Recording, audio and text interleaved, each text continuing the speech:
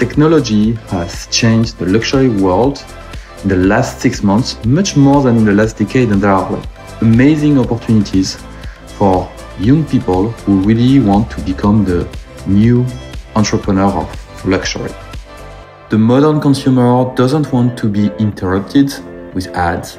You absolutely need to intercept them during their flow with the right content, the right approach at the right moment. You need really to inspire the consumer. Affluencers are the most important segment of customers for luxury brands. Why?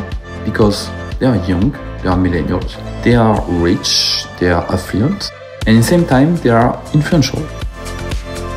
What makes this program very special is that it's the only one in the world that connects luxury and technology with one simple objective becoming successful entrepreneurs in the luxury tech area.